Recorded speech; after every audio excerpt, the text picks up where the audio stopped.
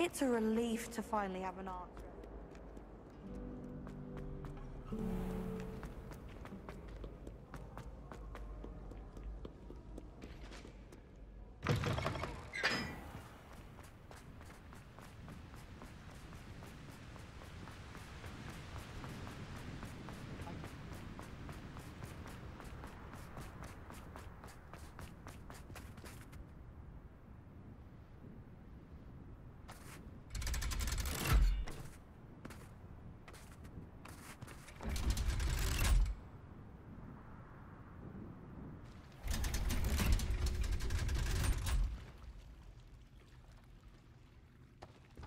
So this is the underground harbour.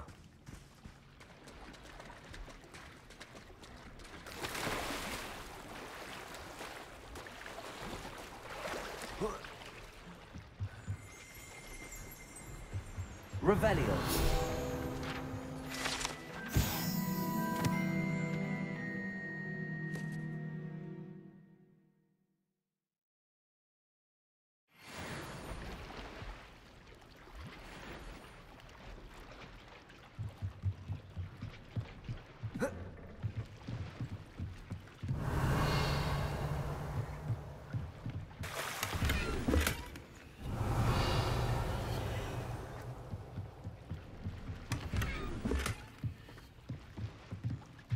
Revelio.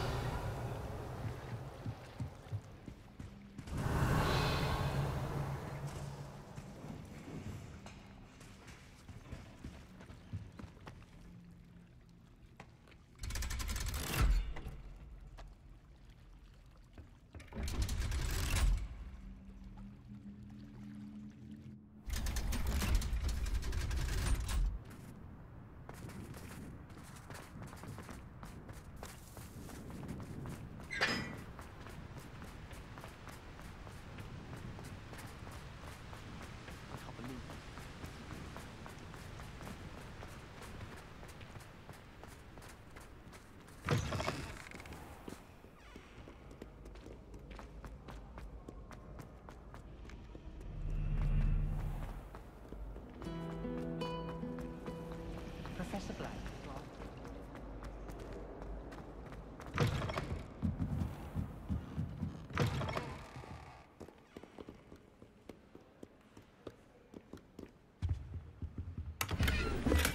Revelio.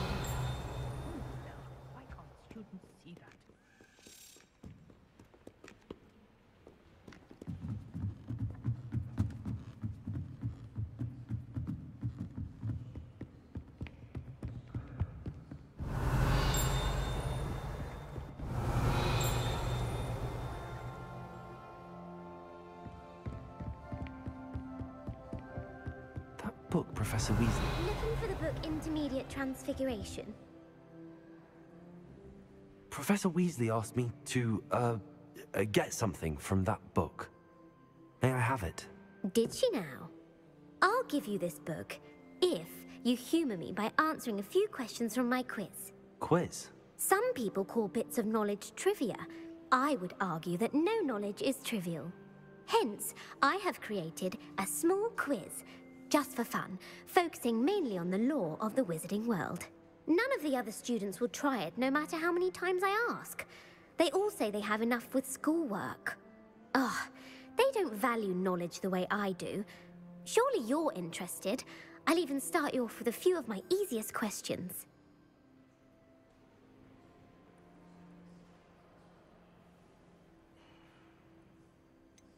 If that's the only way I can convince you to give me that book, then let's get it over with. Splendid! Just a few questions, and then I'll hand over this book. Let us begin. Before the invention of the golden snitch, which magical creature was used in a game of Quidditch?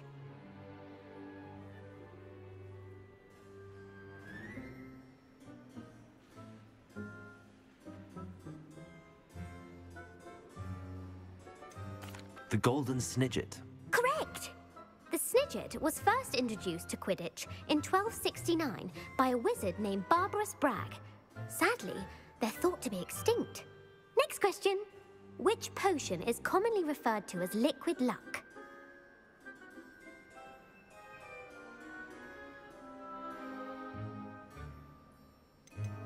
The Pepperup potion. I'm afraid the answer was Felix Felicis. Since it makes the drinker temporarily lucky, Felix Felicis is a banned substance in all organized competitions. The tale of the three brothers involves which magical artifacts?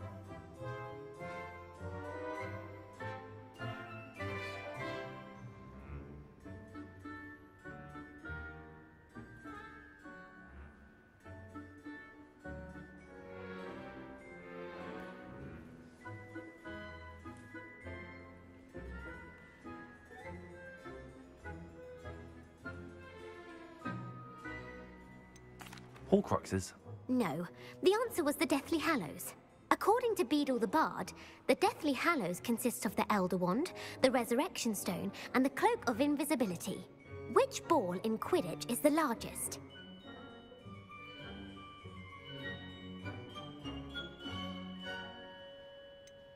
The bludger? I'm sorry, but the correct answer was the quaffle. When a chaser throws the quaffle through one of three hoops in a Quidditch match, their team is awarded 10 points. True or false? Polyjuice potion allows the drinker to change species. True. Actually, the answer was false. While Polyjuice potion can be used to change things such as age or race, it cannot be used to change species. Well, I suppose this has gone on long enough. I'll put the book back on the pedestal now.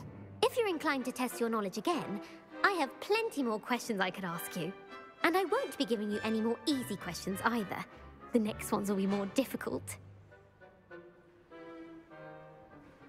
I, I'm sorry. I don't have time for a quiz at the moment. Let me know if you change your mind. I put the book back on the pedestal for you. Revelio ought to make good work on this.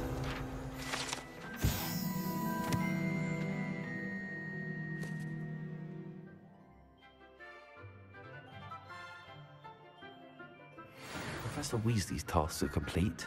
I should attend Transfiguration. Reading can be as magical as any spell. Why can't students? Revelio!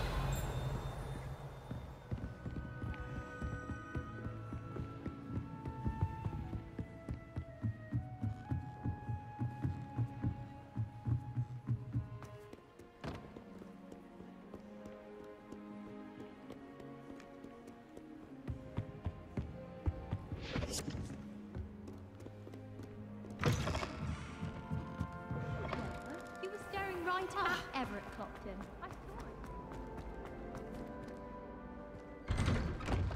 I'd better keep an eye on high places around the school for Zenobia's gobstones.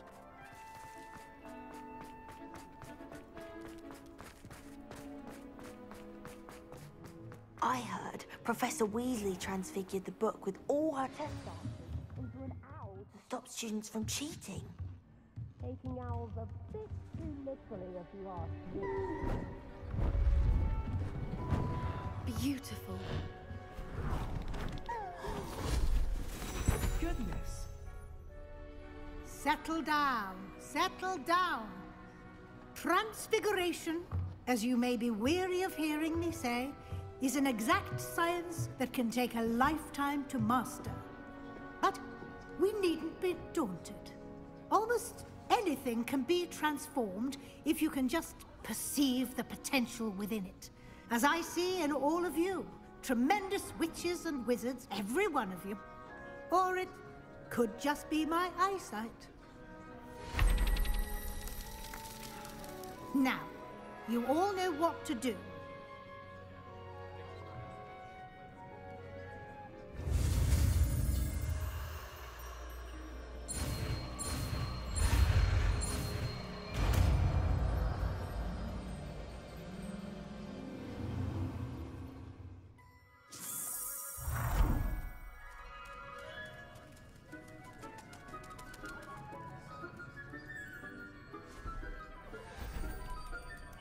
Beautifully done. Class is dismissed. And remember, now is not the time to ease off your studying. OWL. Here before you know it. You wanted to discuss my progress so far this term, Professor. I did. You seem to have had no trouble in getting up to speed, and frankly, excelling in your schoolwork this year. Thank you, Professor. The extra assignments have been helpful. As I suspected they would be. Now, it seems you've been making good use of the opportunities presented by your field guide. Of course, the guide isn't the only measure of success. I've heard that you can brew an impressive Edurus potion. Hopefully, you won't need it anytime soon, but it is a valuable potion to have when it is needed. Thank you, Professor. I will say I'm especially impressed with all you've accomplished in light of the rumors of your extracurricular activities. Was your visit to the kitchens and the Hogsmeade graveyard with Nick to bribe a ghost for information connected in any way to Professor Fig?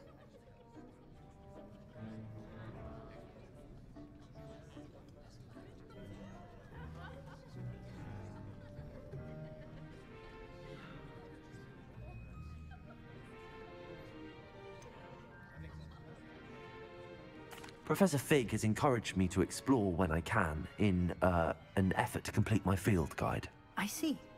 I admire your penchant for learning, but do remember that your classwork and field guide are designed to educate you thoroughly. It'll be the end of the year in no time, and you'll want to be well prepared for your OWLs. I'll provide a final assessment at that time to ensure that you're ready for your exams. Until then, well done. You are dismissed. If you wish to practice the spell you just learned, the training dummy is available.